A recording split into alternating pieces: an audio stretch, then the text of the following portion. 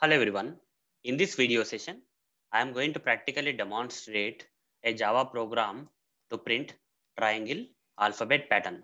So what exactly is this triangle alphabet pattern? Let me show you directly. So this is how guys, a triangle alphabet pattern will look like.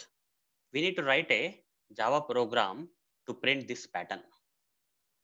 For that, we need to find out few details by looking at this pattern guys. That is how many rows are there in this pattern. So first row, second row, third row, fourth row, and fifth row, total five rows. Second thing we need to find out from this pattern is how many spaces are there before printing the alphabets in each and every row of this pattern. How many spaces are there? In the first row, before printing this alphabet, how many spaces are there? One, two, three, four, four spaces. What about second row? Before printing the alphabets in the second row, there are one, two, three, total three spaces. Third row, before printing the alphabets, there are one and two spaces. Fourth row, before printing the alphabets, there is only one space in the fourth row. And what about fifth row? Zero spaces. So zero spaces in the fifth row, like this.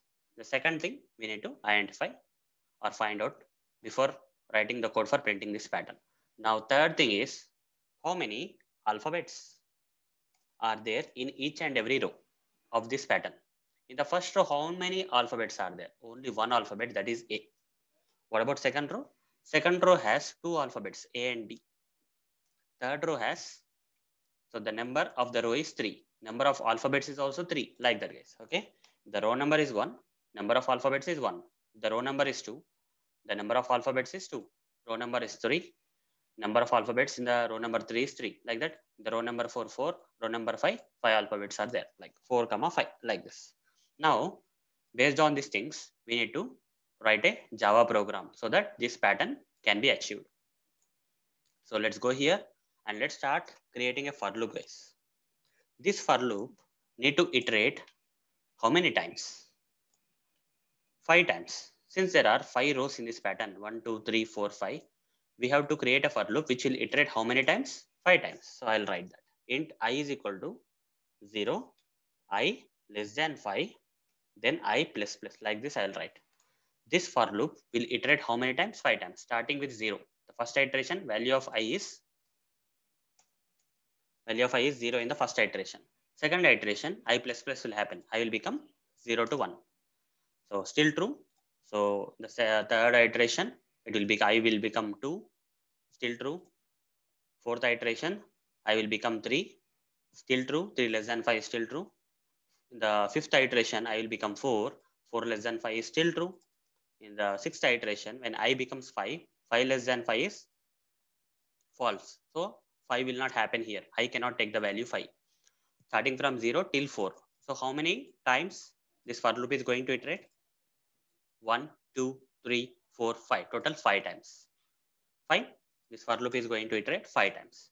Now, the next thing what we need to do is, instead of worrying about spaces now, we'll, we'll uh, come to the spaces at later part of the program guys. First, we'll try to print the alphabets. Okay once we print the alphabets, then we'll try to add the spaces so that it will get this kind of pattern. Okay. These spaces I'll add next. Initially, I'll add these alphabets. Okay. Let's print the alphabets first. How to print the alphabets? Here, I'll write for int j is equal to 0, j less than or equal to i, j plus plus. Like this, I'll write the code guys. This is for printing the alphabets this for loop is for printing the alphabets. Here, why I'm saying j less than or equal to i? Because there is a reason, guys. In the first row, how many alphabets are there? In the first row, only one alphabet. Second row, two. You see, the row number is matching with number of alphabets. That's the reason, guys. Here, i stands for the row. So, number of alphabets should also be the number of the row. The row number is uh, kind of uh, first row. Then, the number of times this inner for loop should iterate is only one time if the if it is for second row when i stands for second row then this inner for loop should iterate how many times two times because two alphabets need to be printed if this inner for loop iterates two times then only we can print two alphabets so here we have to write a print statement guys system dot out dot here print ln is there. You have to make it print normal print. Okay? And here we need to print the alphabet. How to print the alphabet here? For that we have to do one more thing. So what we'll do here is here i'll say int letter is equal to int letter is equal to some integer number i will give. What 65 stands for? So why i'm giving 65 and assigning it to the letter here integer number i am storing in the letter like 65 why i'm storing that? For that let me explain something.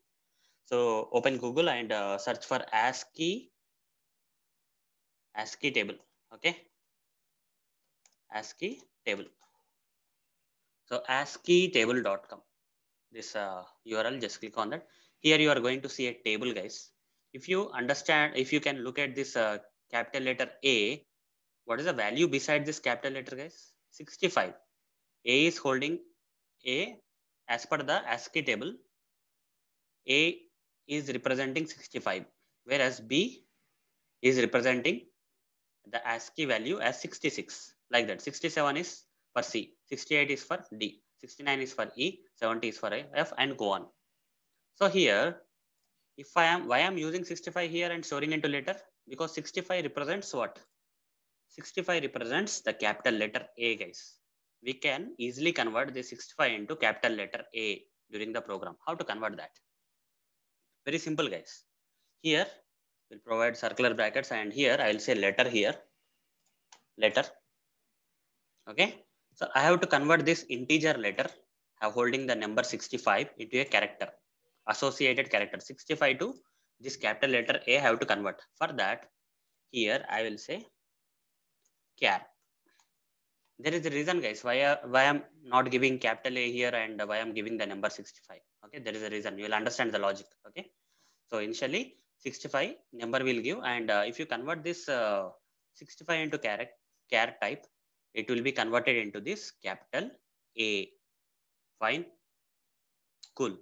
Now next thing is now next thing is so here we will tweak this logic a bit. Here i will say plus j okay here I will say plus j.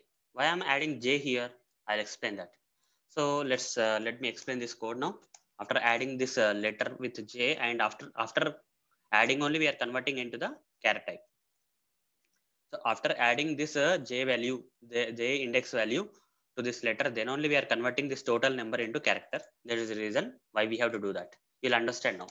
Uh, once I demo, once I take an example and show you the flow, you'll understand why we are doing this uh, thing here.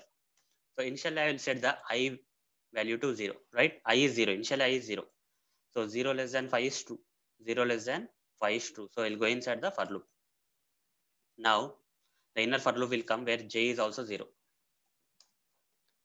j is also 0 initially, right? 0 is this condition, j is 0. 0 is less than or equal to i is also 0. 0 less than or equal to i, true or false? Yes, 0 is equal to 0. So this is true.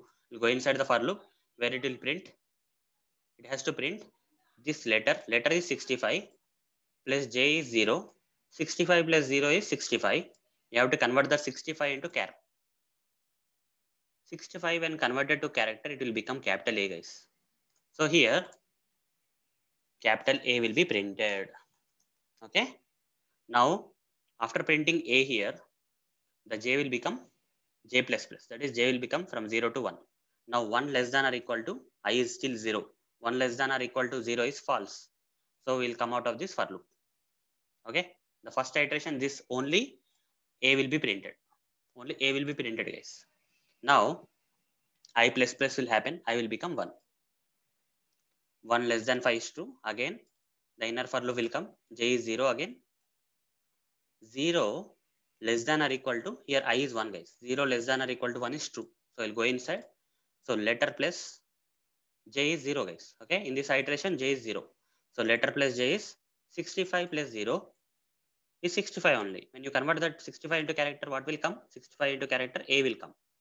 So again in the second row also in the second row what will be printed? The first row only a got printed. In the second row a will be printed after that, j will become 1. After printing this a here, j will become 1. So 1 less than or equal to 1. True again. We'll go inside. Here, letter plus j current value of j is 1 guys letter is 65 65 plus 1 it will become 66 when you convert 66 into character what will happen 66 into character it will become b guys so here the second row b will be printed here in the second row b will be printed. So j will become 2 2 less than or equal to i 1 is false. Will come out of the for loop. So like this guys like this uh, this for loop will iterate 5 for 5 rows and uh, in every uh, iteration of the row the inner for loop will print a a b a b c a b c d a b c d kind of thing. Okay? You are getting the point right? Why we are writing this kind of logic. But guys there are few modifications we have to do here. That is after printing the letter okay? After printing the letter here as you can see here after after the letter got printed after the alphabet got printed there should be a space. You see after every alphabet there is a space guys. There is space like this. How to get this space printed? After printing the alphabet we have to print space guys. How to do that? For that simple guys after printing this alphabet this will print the alphabet. Just append that with a space. That's it. So what happens? Along with the alphabet a space will be printed so that you will see this kind of uh, gap between the alphabets this is expected pattern guys so we have to make sure that whatever the logic will write should match or get this kind of pattern. So that's the reason we have to append space here. Done. Next thing. So, so far so good. One more thing also we need to take care guys before moving forward. That is for every row, our control after printing the alphabets in every row, our control has to go to the new row, right? Like this. After printing this row again, the control has to come to the third row. After printing the third row, the control has to come to the fourth row and so on. For that to happen, here here we are using normal print statement. This will not take you to the new row, right? Instead, after the for loop, after printing all the alphabets in a particular row using this for loop, okay, this alphabets in a single row will be single, uh, I mean, uh, rows will be printed. After that will be done. We'll say system.out.println guys. When you say println, after printing the, let's say this particular for loop is printing the this row. Okay, after printing this row, we have to go to the new row, right? For that, after this for loop, we'll say print println. This will take you to the new row. The control will come to the new row. And thereafter, the cycle will repeat. The number of alphabets in the row will be printed. Then again, we'll go to the new row like that. So if you run the code, you will not get this exact pattern. Okay. You will get A, A, B, A, B, C, A, B, C, D, A, B, C, D, you will get. But these spaces won't be there, guys. Without these spaces, you will get the pattern. These initial spaces, right? Here, before printing A, four spaces are there. Without these spaces, you'll get the pattern. Okay, you'll not get the perfect expected output, but uh, reasonable output you will get. When you run this, you see, you see this kind of pattern you will get. Here spaces are not there. We, we have to still add spaces before this A. Four spaces we have to add before this A. Three spaces before AB and uh, two spaces before ABC and one space before ABCD. Here we don't have to add any spaces. How to make this possible? How can we make sure that uh, the spaces can be added? Further guys, here before printing the alphabets, here we need to create one more for loop. We have to create one more for loop. The purpose of the for loop is to print the spaces. The purpose of this for loop is to print the spaces. How to print the spaces? For that, I will say int some k is equal to okay some int uh, k is equal to what we can do is uh, start with 1 k less than 5 minus i k plus plus. Let's see whether this logic will work uh, for printing that many number of spaces, required number of spaces. Here, inside this for loop, we'll write system.out dot normal print statement we'll put and we'll add a space here like this. Okay, this uh, print statement will print the space. But how many spaces will be printed in each row? In the first iteration, how many spaces will be printed? In the second iteration, how many spaces? Let's see that. In the first iteration, one, two, three, four. You see here we counted right. Four spaces in the first row should be printed. How to do how to do that? You, you see, let's uh, see the logic whether this will work or not. Starting from k is equal to one, the first iteration I will be the first iteration I will be zero, guys. I the value of i is zero. So k is equal to one, k less than five minus zero. k less than five that means five minus zero means five, right? Starting from k is equal to one till k less than five. 1, 2, 3, 4 are possible. So how many spaces will be printed? Till 4 less than 5 is possible, right? So starting from 1, In every iteration, this k value will be incremented. So in the next iteration, k will become 2, then 3, then 4. Till 4, it's possible. 4 less than 5. This condition will be true till k becomes 4. When k becomes 5, this condition will fail because 5 less than 5 will not happen, right? So 1, 2, 3, 4. 4 times this for loop will iterate. That means in the first row, when i is equal to 0, 4 spaces will be printed. Here, 1, 2, 3, 4 spaces are needed. That's fine. This is working perfectly fine. What about when i becomes 1? That is uh, when i becomes 1, this is the second row, guys. Uh, when in case of second row, starting with k is equal to 1, till k less than 5 minus 1, k less than 4. That means starting from 1 till 3 only. 1, 2, 3 is, are possible. So 3 spaces will be printed. When i becomes 2, it will be third row. This will be third row and 5 minus 2 is 3, less than 3. That means 1 and 2, only 2 spaces in the third row. When i becomes 3, that is fourth row, 5 minus 3, less than 2. That means only one, one space is possible. When i becomes 4, that is fifth row, 5 minus 4. 5 minus 4 is 1. So k less than 1, 0 spaces. 1 less than 1 is not uh, true, right? So 0 spaces will be printed. This is perfectly fine. You see here, spaces should be like in the first row 4, then 3, then 2, 1. And uh, in the fifth row, should be 0 spaces. That's what is happening with this logic. Now let's run this code. We'll get this expected triangle alphabet pattern guys okay expected pattern will be perfectly printed now when i run this code let's run this. You see the expected triangle alphabet pattern got perfectly printed here. As per the expected pattern it got printed. So hope guys you understood how to write a java program to print triangle alphabet pattern. So that's it guys. Thank you. Bye